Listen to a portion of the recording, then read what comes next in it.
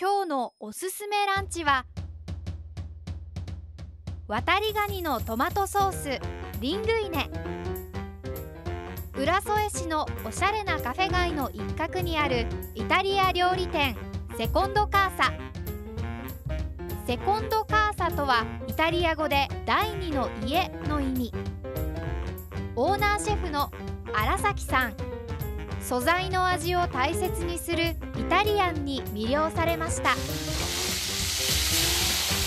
カニをやっぱり丸ごと1匹使ってるのでカニとこのトマトソースであとクリームが少し入ってましてソースがすごい濃厚になる。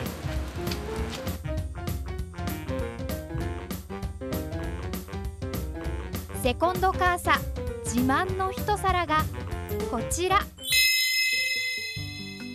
セコンドカーサの渡りガニのトマトソースリングイネ。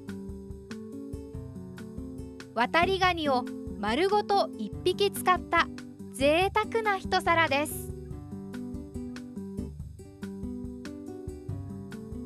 パスタの麺がリングイネっていうちょっと太めの平べったい麺を使ってるんですが最後までパスタの味をしっかり楽しめる一皿になっている渡りガニのトマトソースリングイネ。いかがですか？